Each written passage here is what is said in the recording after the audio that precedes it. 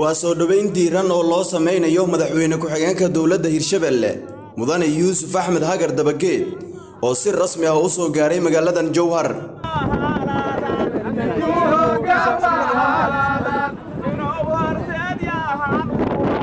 garoonka diyaaradaha ee magaalada waxa uu salaan sharaf uga qaadanayaa cutub ka tirsan ciidanka xoogga dalka iyo kuwa maamulka hirshabelle oo soo dhoweyntiisa u gaaray garoonka diyaaradaha ee magaaladan jowhar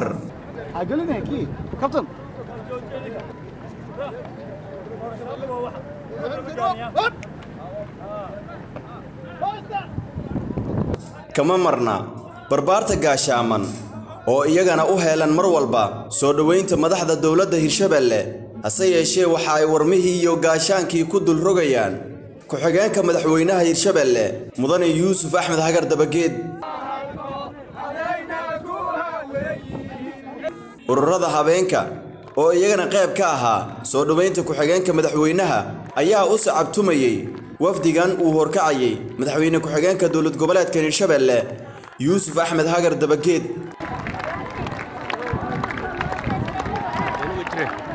Intaasi kadib waxaa loo soo galbiyey xarunta hirshabelle ee jowhar gaar ahaanna madaxtooyada halkaas oo uu warbaahinta kula hadlay waxaana uu sheegay in safarro kala duwan uu ku kala bixiyey magaalooyinka beledweyne muqdisho iyo meelo kale oo u tegey arrimo quseeya maamulkan. Saaad ogtiiba muddo ilaa sagaal bilooda waxaan ku maqnaynay gobolka hiiraan waxaan ugu maqnaynay arrimo shaqo shaqooyinkaan ugu maqnaynana adugu geed kastaba ha soo hadda meel fiican ayaan ku soo dhoweynay. Waxa dhimanna waa dhammaystiri doonnaa safarkaynuna hadda wuxuu u daarhaayoon halkaan u nimiday.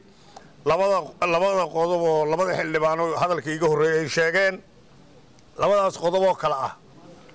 Kow xildhibaanada aqalka sare ama sanatarada aqalka sare ee federaalka ee hirshabeelle ee halkan lagu dhisayo qodobka kalena wuxuu yahay dee waxaa la yidhi meeshii madax jiraa maja in shaqadan wakhtiga dheer aan soo wadnay ka soo wadnay gobolka hiiraan halkan madaxda hirshabeelloo joogtay annaga nimankaynii halkaa ku maqnaa ee shaqadaas soo hayay.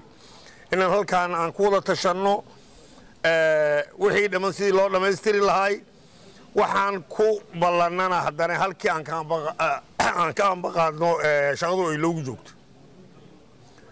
Bacdul markii la dhiso aqalka sare ee dowlad goboleedka hirshabelle waxaan shaqada ka bilaabi doonnaa haddii alla idmo iswarsi madaxda hirshabeelle iyo madaxda halkaan joogtay annaga ragga aynimid markaan iswarsanno. Shaqada dhismaha sanatarada aan ka bilaabi doonna haddii alla idmo sanatarada waa ogahay waxaan leeyahay marka hore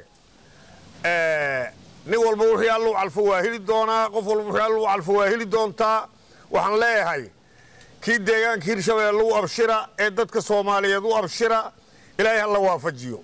Deegaanada dowlad goboleedkan hirshabelle ayaa xilligan waxaa ka socda mashaariicyo kala duwan oo horumarineed iyadoona madaxda dowladda hirshabelle ay dadaallo ku bixinayaan sidii loo soo celin lahaa bilicda magaalooyinka hirshabelle jowhar iyo beledweyne loona qabanqaabin lahaa doorashooyinka aqalka sare iyo golaha shacabka ee baarlamaanka federaalka ah ee soomaaliya oo dhowaan lagu wada inay ka dhacaan hirshabelle.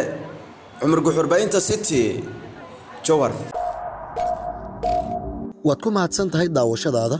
Inaad nagu soo biirto wax lacaga kaagama baxayso. Keliya waxaad u baahan tahay inaad falow saarto boggeenna facebook ama aad sabskraib dhahdo janaalkeenna youtube adigoo bartilmaamaydsanaya city somaali t v an rediyo la jaanqaad warbaahinteenna oo hel warar iyo barnaamijyo adiga kaa hadlaya